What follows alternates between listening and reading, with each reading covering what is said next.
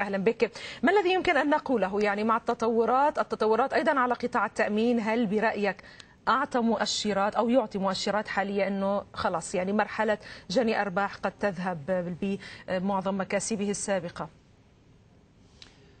قطاع التأمين بالأصل أنه هو تحول إلى قطاع مضاربي لا أكثر ولا أقل لأنه نلاحظ أنه كثير من الشركات يعني اسعار طبعا كلها أسعار مبالغ فيها تقريبا بنسبة يمكن 95% إلى 90% من الشركات.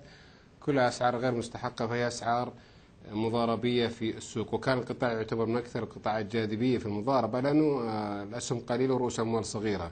وهذه مشكلة القطاع التامين إنه قطاع لا يعكس قوائم المالية ولا نتائج المالية ولا أي شيء يعكس مجرد عمليات مضاربية بالكامل.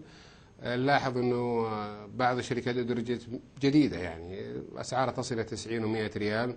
كثير من الشركات وصلت لأسعار تفوق ال 200 ريال تفوق 100 ريال تفوق 50 ريال. أنا أعتقد إنه القطاع يظل موجوده الجاذبية فيه كمضاربة ولا نتكلم عن استحقاقات السعر إنه مستحقة أو غير مستحقة. نتحدث عن إنه قطاع قطاع مضاربة لكن يظل قطاع مضاربة خطر جدا لأنه الأسعار مبالغ فيها جدا. إحنا نتحدث عن 40 ريال أو أكثر أو 30 ريال وأكثر أعتقد ندخل في في دائرة المراهنات أكثر ما تكون المضاربات العقلانية الموضوعية. نعم طيب فيما يتعلق بالتركيز على بعض الأسهم لماذا برأيك يعني هذه المناورات التي تركز على أسهم دون غيرها وتأخذها أيضا إلى مستويات سعرية قصوى أحيانا هي تعتمد طبعا على المضاربين وعلى عدد الأسهم، فبالتالي المضارب اللي يكون موجود في أي شركة هو هل يصل يحقق أهدافه أو لم يحققها؟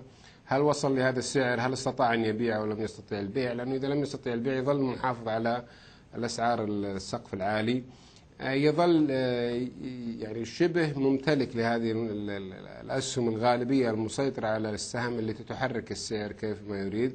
يظل هناك حذر شديد من المضاربين لأن هناك الرقابة تختلف عن السابق يعني فيه مضاربات متابعة من قبل هيئة سوق المال يعني بدقة لأنه عملية التدوير التناقل بين المحافظ إلى آخره. فبالتالي هناك عملية بطء في عملية التراجعات أو الصعود في أسهم المضاربة. لكن هي تعتمد في الأساس كم يملك المضارب أو المضاربين وكم عدد الأسهم اللي موجودة وهل وصل للأهداف أم لم يصل. فبعضهم يحقق الأهداف وهم أعتقد قلة قليلة والبعض يتورط حين ترتفع الأسعار انه يكون كل الكميات بحوزته وبالتالي لا يستطيع عملية البيع أو التصريف زي ما نسميها. نعم طيب بالنسبة لمجريات الأحداث الأخرى أو أو القطاعات الأخرى ما, ما تأخذه باعتبارها خصوصا يعني الاعتبارات العالمية وواضح أنه أمامنا مصطلحات جديدة بدأت تدخل هذه الاعتبارات الهوية المالية مشاكل جديدة. إجراءات تقشفية واضح أنه غير الاتحاد الأوروبي غير راضي عنها في أوروبا وحتى احتجاجات أوروبية في الشارع هذا كيف تقرأه السوق؟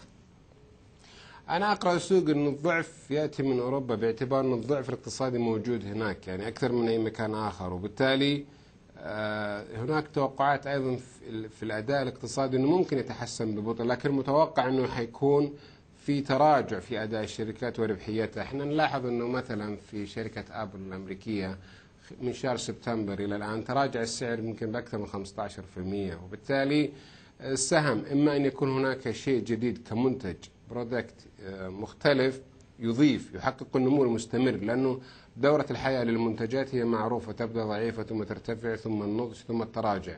التراجع هنا أما أن يكون هناك منتج جديد يعني اختراع منتج إلى آخره يحقق نمو من جديد يعدل ال curve إلى اتجاه صاعد أو سيتراجع. وبالتالي هذا هو المؤثر أنه أداء الشركات قد يكون هو المحك الآتي مستقبلا في الاقتصاد الأمريكي. لكن في أوروبا المشكلة في الاقتصاديات نفسها أنه نلاحظ إحنا اليونان الآن شبه الدولة تفلس الآن؟ لا تملك السيطرة على أي عملية تستطيع أن تمارسها. يعني هناك مظاهرات هناك إضراب هناك مشاكل اقتصادية كبيرة. فرنسا الآن بدأت تدخل في هذه الدائرة وهذا يعتبر مؤشر خطير لأنه تعتبر الاقتصاد الثاني أو الثالث في أوروبا بعد بريطانيا والأول ألمانيا.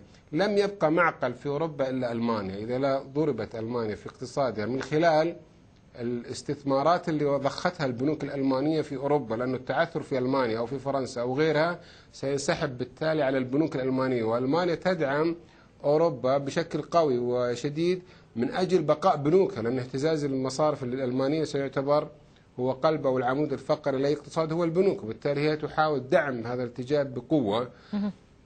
نفس الشيء الصينيين الآن هم يدخلون بقوة في شراء السندات لليورو حتى يبقى اليورو ب يعني التناقض الآن إنه ضعف اقتصاد أوروبي وقوة في اليورو هنا يأتي عملية الشراء لليورو لدعم قوة السعر حتى يكون مرتفع حتى يكون ضعيف أمام الرمنبي الصيني لأنه الصين تعتمد على العمله المتدنيه في التصدير فتدعم لدعم عملتها الصينية بالأصل وليس دعم يعني سوادا في عيون أوروبا أو دعم اقتصاد الاوروبي.